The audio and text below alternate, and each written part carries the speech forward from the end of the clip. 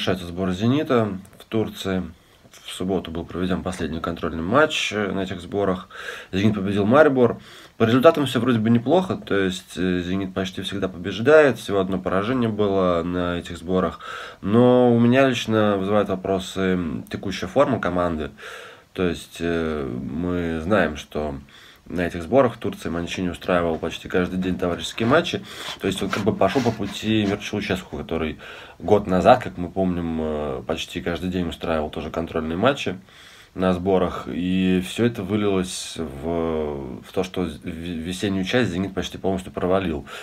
Мы помним, что «Зенит» тогда выиграл, проиграл э, Андерлехту, вылетел э, от него в Лиге Европы, проиграл Амкару, сыграл ничью Санжи, проиграл Спартаку, и из-за этого, в общем, Зенит и занял третье место в чемпионате, то есть не смог конкурировать со Спартаком и ЦСКА.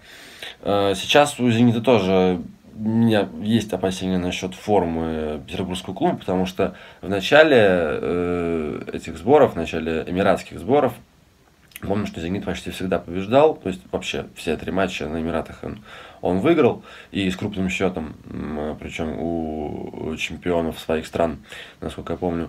А сейчас э, в Турции были проблемы. Сейчас, может быть, это, конечно, связано с чем-то другим, с тем, с тем, что, например, Манчини дополнительную нагрузку давал игрокам. Такое тоже возможно, и из-за этого ухудшались результаты.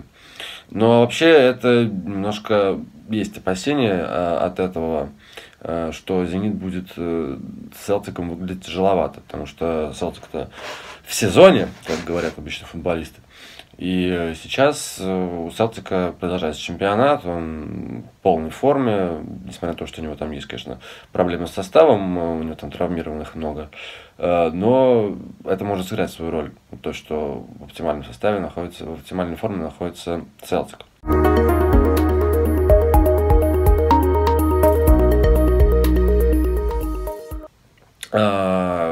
Тактические изменения были у Манчини на этих сборах. Мы видели, что он часто использовал схему 4 2-2-2, наверное, так ее лучше назвать, не 4-4-2, то есть это э, ярко выраженные фланги, именно атакующие.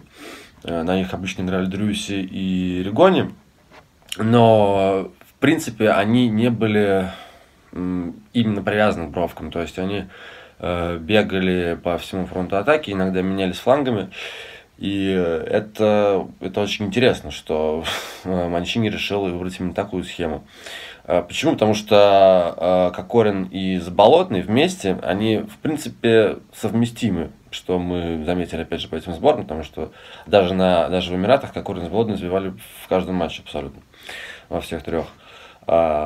Почему в таком случае Кокорин не был совместим с Зюбой, у меня есть вопросы, потому что, в принципе, Заболотный и Зюба это примерно одна фактура, но вот выясняется, что Манчини не нравилось, как Кокорин взаимодействует с Зюбой, зато сейчас, когда стало два форварда в атаке э, у Зенита, сейчас вот все как бы хорошо. Ну ладно, допустим, теперь наша схема 4-2-2 у Зенита. И э, как будет эта схема работать по весне, мы посмотрим. Но пока у меня есть вопросы по ней, потому что э, всего два опорника остается. То есть э, фактически это Коновитер и Паредос. И э, тут непонятно даже, зачем тогда нужен Зениту Магомед Аздоев. Потому что э, мы знаем, что Аздоев в ближайшее время должен перейти в «Зенит». Это усиление для питерского клуба. Э, но он классический э, центральный полузащитник, то есть он не может сыграть на фланге, как, например, Шатов мог э, сыграть, или ну, тот, же, тот же Шатов сейчас, в принципе, это не прямая ему замена. Хотя подразумевается, что «Зениту» после ухода Шатова нужна замена именно по позиции. В последнем матче играл на фланге атаки Далер Кузяев, матч с Марибором. Э, это, мне кажется, это очень хорошо, потому что мы видели, что на первых сборах э, Манчини часто использовал Кузяева на фланге обороны, и, на мой взгляд, для Кузяева это плохо, потому что это его ограничивает в его техническое оснащение, то есть он снижается качество его игры, э, а ему нужно, нужно пространство, нужен простор.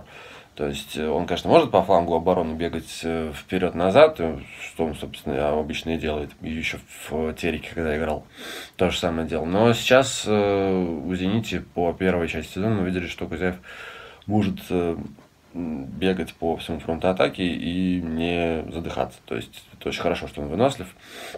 Поэтому позиция правого полузащитника для него, она очень, очень подходит. Другой вопрос, кто там будет играть, потому что есть еще Ригони, есть еще Дрюси, и э, может быть появится новый игрок,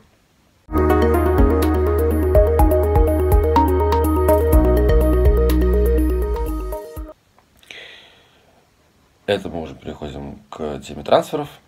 Э, раз уж мы ее коснулись. Да, давайте начнем с Магомеда Аздоева. По нашей информации, Магомед Аздоев в ближайшее время должен перейти из Рубина в Зенит. Примерно за 3 с лишним миллиона евро. Э, я еще раз повторюсь, что я не очень понимаю, где он будет конкретно играть. Э, скорее всего, в запасе ну, по крайней мере, изначально будет вот такая позиция. Э, почему? Потому что он не прошел ни одни сборы с «Зенитом», и его форма тоже, опять же, вызывает сомнения. Непонятно, как он будет вклиниваться. Всегда тяжело вклиниваться в команду, когда ты не прошел сборы. Ну, то есть вот был Заболотный, да, его как раз изначально покупали с прицелом на то, что он будет наигрываться в основе, как мы сейчас понимаем. Поэтому его купили еще до открытия трансферного окна, еще в декабре. А со Сдоевым, который должен стать второй покупкой «Зенита» в трансферное окно, с ним будет все сложнее. Э, это не прямая замена Шатова, повторюсь. Э, это он будет играть в центре полузащиты. И если Манчини решит использовать схему 4-2-2-2, то получается, что Аздоев будет там запасным, скорее всего, либо иногда ну, игроком ротации, скажем так.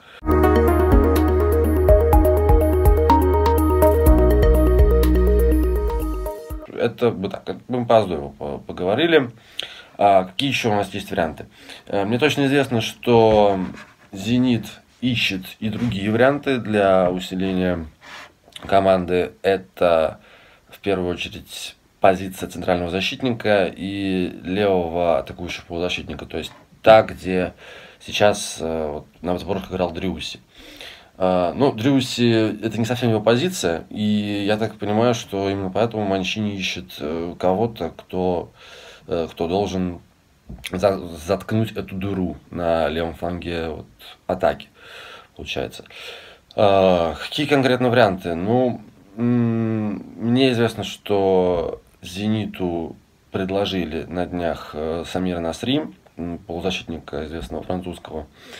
Я вот сразу говорю, что «Зениту» именно его предложили. То есть, как обычно трансферный рынок у нас устроен. Э, есть скаутская служба клубов, есть спортивный департамент, которые ищут обычно варианты для усиления клубом, клубов э, в каких-то ну, каких других командах. Но иногда случается так, реже, что агенты сами выходят на клубы и предлагают им свои кандидатуры. То есть они видят, что там, например, есть... Они смотрят, просматривают клубы, видят, что а не нужен ли вам, например, э, там, левый полузащитник в случае с «Зенитом». И вот именно так предложили «Зениту» Самир Насри. А, то есть, э, видимо, кто-то из агентов или представителей клуба, мне точно неизвестно, э, смотрел, посмотрел э, «Зенит», понял, что у них там вот ушел Шатов, и, в принципе, им может понадобиться кто-то вот на фланг. Насри не совсем тоже вингер, он может играть и в центре полузащиты, и на краю, но, в принципе, он может, вот опять же, заткнуть эту дыру на, левую, на левом краю полузащиты, где, вот, по мнению Зенита, нужен, нужен игрок. А насколько нужен Насри Зениту, это вопрос. Потому что Насри 30 лет, э, мы, конечно, помним его, там, когда он еще играл против Зенита э, совсем молодым, 10 лет назад за Марсель, ну, сейчас ему уже 30. Последние полгода он провел в Турции, в Анталия Споре. Это клуб аутсайдер чемпионата Турции. Он сейчас недалеко от зоны вылета идет. А, за Анталия Спор даже он, Самир Насри, провел 8 матчей и забил всего 2 гола. Ну, результативность не очень высокая, поэтому очень есть вопросы, почему именно, ну, нужен ли Насри вообще Зениту. Вот. Но до этого вот в Севилье он играл тоже там было очень мало голов, там, по-моему, два или три гола он забил за сезон 2016-2017. И там тоже видно, что у нас спад сейчас, непонятно, насколько он нужен опять «Зениту», и рассмотрит ли вообще «Зенит» эту кандидатуру. А, ну, я знаю, что Насри, помимо... Насри, во-первых, свободный агент, то есть он с Анталия Спор это провел последние полгода, но он разорвал контракт в январе, и сейчас он свободный агент. А, это плюс, потому что «Зениту», во-первых, не нужно будет покупать игрока, и помимо этого он еще может перейти в «Зенит» после закрытия трансферного окна 22 февраля. Потому что ну, регламентом подразумевается, что свободные агенты могут переходить э, вне рамок трансферного окна.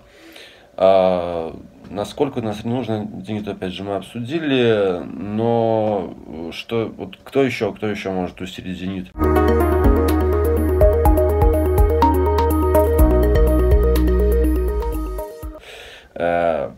Есть информация, что Эльмир Набиулин, которого ведет активно Спартак, тоже может перейти в «Зенит». Это не центр защиты, как мы понимаем, это фланг. И, в принципе, учитывая возможный уход Кришета и проблемы на вот другом фланге, на правом фланге «Зенита», там не очень стабилен Смольников, и есть травма у Ивановича, может быть, туда как раз перейдет Эльмир Набиулин. Но это тоже пока вилами по воде, и сложно сказать, ну, ну, перейдут ли вообще эти футболисты в «Зенит». А, то есть конкретные фамилии, конкретные фамилии других конкретным фамилиям мне, мне сложно назвать. А, но, в принципе, эти игроки, эти игроки, ну, Набиулин точно, наверное, должен усилить «Зенит». По Самиру Насри не знаю. То есть, может быть, он перейдет, может быть, он перейдет, может быть, нет, и не очень понятно. А, главное, что еще нужно знать о оставшейся части трансферного окна «Зенита», это то, что «Зенит» хочет арендовывать игроков. Почему именно арендовывать? Потому что мы знаем, что «Зенит» в этом сезоне очень много игроков отдал именно в аренду. То есть это, опять же, вот свежего это Зюба Новосельцев э, Шатов, это Джорджевич, Арнани, это Роберт Мак, это Салагов, Юсупов, они все в аренде. И, в принципе, даже вот по этим фамилиям понятно, что достаточно серьезное усиление, э, достаточно серьезную команду можно сколотить из этих футболистов. Э, летом они все вернутся из аренды, и что-то с ними надо будет делать. Естественно, многие будут из них проданы, поэтому текучка трансферная будет летом у «Зенита» достаточно высокая. И если «Зенит» сейчас еще кого-то купит, то «Зенит» еще больше увеличит свою заявку, то есть она растолстеет непомерных размеров. И именно поэтому решено сейчас вот э, смотреть за вариантами с арендой. Потому что это выгодный с этой точки зрения, с точки зрения того, что осталось всего несколько дней закрытия трансферного окна. То есть 22 э, февраля уже закрывается трансферное окно, и э, есть риск, что просто футболисты, которых э, купят, они не валются команду, потому что обычно на финише трансферного окна клубы делают покупки в ППХ, и не понимаю вообще, лишь бы купить кого-то, лишь бы просто усилить, просто для Э, глубины заявки. «Зенит» и так рассматривает, в принципе, футболистов именно для глубины заявки. Э, мы помним, что Манчини еще осенью несколько раз говорил о том, что ему не хватает футболистов. Ну, может быть, сейчас вот он получит этих футболистов. Посмотрим.